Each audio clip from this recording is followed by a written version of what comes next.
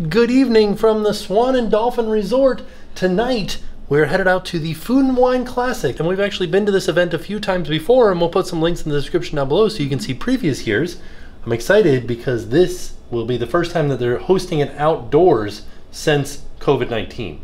So they've always had outdoor sections of the event, but there's usually like big things that happen inside too. Like they'll have live bands, kind of like a more party atmosphere. Right. They'll have different like little bars and things inside, mm-hmm. but not this year. Yeah. So we're excited to see how everything is going to work this year. We've been watching them kind of set it up because if you've been watching the videos, you know that we're staying at the Swan and Dolphin, and we can see it right outside of our window here. Yeah. So let's go down and check it out. Ooh, oh, I can already hear it. It's a party.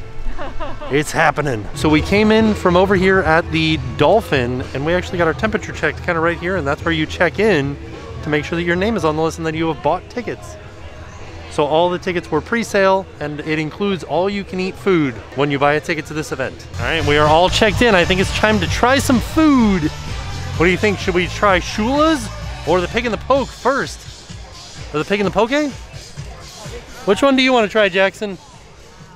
All right. So here's a look at the layout this year. It is scaled down from previous events, but I wanted to point out all of the food stations. You got Kimonos, which is a restaurant here at Swan and Dolphin. The Fountain is also a restaurant here. Smokin' D's Barbecue, that's an outside vendor. Todd English's Blue Zoo, and in years past, Todd English has been here, so we might get to see him tonight. The Reserve is the Swan and Dolphin Reserve, so that's something from the new hotel that they're building across the way. Oh. The Pig in the Poke, Shula's Steakhouse, Il Mulino, Sweets and Treats, ooh, and that's just desserts from the Swan and Dolphin, Chinatown, Frida's Kitchen, and Finn's, which has a soft pretzel. I'm excited for that one. Oh, look, it's kind of like off on its own over here. Oh. But one of the main attractors here is the wine. Look at all of these different wines that they have. 16 different wine stations. They're not all wines though. So this one is Ketel One. Oh, So they do they do it, and they have a beer, uh, like a beer area as well. Okay. And then uh, bubbles. ooh. So there are definitely um, lots of fun food and drink options. I think there's 12 different food vendors. All right, first stop is Shula's. They have a prime New York strip, salt roasted prime New York strip loin, roasted marble potatoes, onion puree, and truffle veal jus. Oh yeah, this looks real nice. I'm excited for this one. All right, let's see. All right, so we ate Shula's last night for dinner, so we already know that their food is delicious. Um, but let's take a little bite of this. So wait, what was the gel? It was like an onion? Yeah, it was an onion puree. Mm, oh yeah, it's like a sweet onion gel. And then what's the sauce? The veal jus. Oh, it tastes just like a delicious gravy. Kind of salty, so I bet it will taste really nice with like the sweet onion.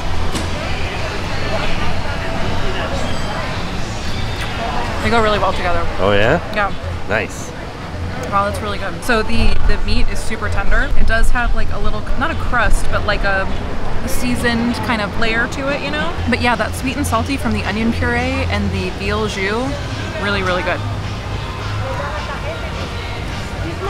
Delicious. Buddy, are you dancing to the song? They're playing some music right now and he's dancing. He said, "This is my jam." This is my jam. He's like, it drives me crazy. All right, so we just tried Shula's, and so far, that's my favorite thing. it's the only thing we've had, but it's the only boat tour. it was really, really delicious. I'm like- still that sweet and salty. That's where it's at. I think I preferred it without the onion. Oh, really? Yeah, I'm not like a huge onion fan, Okay. and it was like a sweet onion puree, which kind of turned it into like almost like a gel. Yeah. But it was very delicious both ways. I just preferred it without the onion myself, personally. I preferred it with the onion, Well, there you go. personally. So we just had Shula's and now we are headed over to this little area back, kind of hidden back behind the building over here. Got two food booths back here and some beer. All right, back here we're gonna be trying Frida's Kitchen and they have a chili Colorado bowl, green chili braised pork, steamed rice, hominy, pickled apple cabbage slaw, crispy chicharrones, and radish. Ooh, this is exciting. Oh, this is really good. Wow. I like that it has the chicharrones on top. There's so many different flavors going on in here. I had one little bite and I tasted a lot of like lime. I think that was just on the top. Once you get down a little bit more, you're getting all these different flavors from the braised pork, the rice, the hominy. Then on top is like a slaw and some chicharrones. Oh no, I dropped one. Oh no, my chicharrones. I'm just trying to eat a radish. Don't don't mind me. this is gonna be 15 minutes of Tim eating a radish. This is the kind of content I signed up for. Right, buddy? Thin How radishes are where it's at. I've never had like a really really thinly sliced radish. Is it pickled? No, Oh, just really thin? okay. really thin. So it's not as like it doesn't bite as hard. Oh, gotcha. I'm I'm really loving this soundtrack that they have going on, this playlist. It's like 80s hair metal bands, or maybe not metal, just hair bands. Jackson, how are you loving yours? You gonna have a little bite? What'd you think about that, buddy? The red eyes on. They're like homemade too. Yeah. The chicharrones. Oh, were they? Yeah. Mmm. You know, how you can always tell when they're store bought and they like have they're like you they're crispy, but they're like a little bit chewy still too. Oh yeah, they almost taste like thick. And the homemade ones are just crispy and delicious. I'm so excited. See, mine's over here. It's just begging for somebody to take a bite out of it. Oh yeah. Okay. Well. No, no, must- not uh, no, me. So the next booth is Fins or Fins and Feathers, and they have a Bavarian style warm pretzel, German mustard, and beer cheese. Oh, they have three different kinds of mustards. I'm gonna try this Inglehoffer. I think that'll be real good. I love a grainy mustard. Oh yeah. I'm a big fan. All right, let's give it a try. Ooh, it's very soft. That's good. Very like pillowy. Jackson is enjoying the delicacy of Cheerios. He's he's putting them back in the bag. Oh, That's what he was doing right now. So he's he's cleaning up. gotcha. Um, so this looks a lot like just a plain old like a pretzel you would get at a theme park, but Right. it is so soft. Okay, let's try this cheese first. Real cheese, like it's real cheese. Okay. Very good. Wow. Very thick. Little kick to it. I think it's like a like a little peppery. Yeah, I want to try this grainy mustard here. Delicious. It almost has like a horseradishy kind of a spice to it. I love it. What's the other one? Oh, I wasn't as excited about that one because I think it's going to be very spicy. Hmm, kind of sweet. Okay. Yeah, it almost tastes like a like mustard and sweet relish. All right. Okay. They also had normal Goldens over there. Oh, did they? Yeah. I think I like the cheese and then the grain mustard and then the other mustard. Okay. In that order. All right. But they're all good. So I had the pretzel too. Very delicious. Yeah. Very soft, very pillowy. That cheese was where it's at. I think it's a nice addition because it's it's definitely like a um, less, you know, like exciting than some of the other items, but I bet it goes really nicely with the beers they're serving. Right. So there are two beer booths around us with Yeah. some like local breweries, Right. And I think that having that with a nice salty pretzel, awesome. Our next stop is the Walt Disney World Swan Reserve.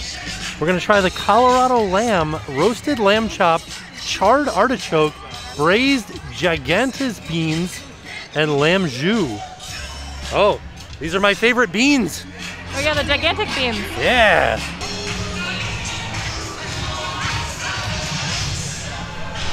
Very delicious. This is my favorite. Just gonna stop here by Todd English's Blue Zoo and get some shrimp and grits, sauteed Gulf shrimp, buttered white corn grits, tasso ham gravy. Oh, this is like everything you love. I'm so excited for this. Oh yeah, it looks like it's gonna be good. All right, we're gonna stop off at Smokin' D's Barbecue for some smoky ribs, sweet and smoky St. Louis style smoked ribs and macaroni and cheese. Gluten-free, dairy-free without the mac and cheese. This looks great. It comes with some Texas toast here and some macaroni and cheese. And then it came with three different sauces. A sweet and spicy, a molasses, and a Memphis. And then we've got the sushi restaurant here at the Swan and Dolphin Kimonos. This is the spicy tuna roll, seasoned sushi rice, spicy ahi tuna, and nori. I don't know a lot about tuna, but it does look good. Got some soy sauce here, some wasabi, and some ginger to eat it with. All right, what do you think of the sushi? You can see that it's got like some nice spice mixed in. The cucumber is nice and crunchy. This wasabi is like no joke. It's way spicier than most wasabi that I Oh. get like with sushi. It's really good. Nice. A really nice kick. And then another another one of the restaurants here at Swan and Dolphin is the Fountain, where they have Angus beef sliders, seared Angus beef patty, swan dew sauce, American cheese on a toasted brioche, gluten-free without the bread. I like this little retro-looking toothpick thing they've got on the top. All right, you guys know that I love a good burger, so I'm excited to try this little slider.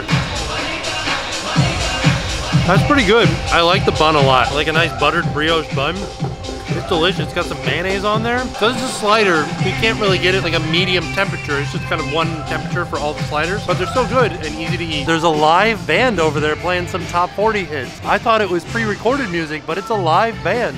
Sounds really good. All right, so we are actually in, we were telling you how they, actually I don't know if we told you, but they have an indoor section where they have some tables. There's nobody in here. So we're in here right now and um, I just wanted to tell you a little bit about the food because it's a little bit loud outside, but I have to say, this DJ is amazing. Like if we ever have like a big event where we need a DJ, I want to hire this person because they're doing such a good job. It's the music is awesome. So I had the ribs. They were like fall off the bone, so super tender. I love the spicy and sweet barbecue sauce that they had. They also had a molasses sauce and then a Carolina sauce. But I think my favorite was that spicy and sweet one. The ribs were so so good. I we got one because they had two huge ribs in them and I ate them both. I loved it. They were a little bit messy, but like ribs are supposed to be messy. So I for sure want to try and see where that place is because I don't think it's one of the restaurants within the resort like the other ones are, but that was fantastic. I will say it came with a side of the macaroni and cheese, and I think the ribs were the star of the show. The mac and cheese wasn't as good to me, but the ribs, loved them. And then I also had one of the sliders. That was also really, really good. Mine was cold because I was running around with Jackson trying to find the bathroom to change his diaper and stuff, and it was still actually really good. I also had the shrimp and grits, which I was very excited about because Blue Zoo is supposed to have some really delicious food. And I have to say, it wasn't my favorite shrimp and grits. There was no spice to it at all. The shrimp was cooked perfectly, the grits were really good, nice and creamy. The tasso ham that was on top was really good, but I was expecting like a little bit of spice, a little kick. I think that was my least favorite item of everything that I had today, but it was still really, really good. It just wasn't exactly what I expected. But I, everything so far at this food festival has been delicious. I just had the ribs, and I'm not really a rib person. I never really like eating ribs because they're too messy for me. I hate getting stuff all over my face when I'm eating, so I've never really liked enjoyed ribs. Those ribs were so good, nice and smoky, fall off the bone tender. I didn't have any of the sauces, but the ribs themselves, really good. Now it's starting to get a little bit late. I think the event ends at 8, and it's almost 8 now. So we need to head towards the dessert. There's a couple more booths down there. I don't know if we'll get to all of the food booths, but we're gonna start heading back to go to bed. But Got three boosts. Let's see if we can hit all three before it ends. So we don't actually know what these are. It's some sort of chocolate cake. It looks delicious. And then this one is something with fruit. Also looks very delicious. Yeah, it's definitely raspberry. Ooh, it's a very tart raspberry. Good though. I don't know what this like ball is on top. It's like it looks crunchy. No, it was like a, a marshmallow. Oh, a marshmallow. Mm. So it's like a raspberry with like a cream underneath it. Oh, okay. Pretty good if you like raspberry. That's very delicious. Let's try this chocolate thing here. What was that, buddy?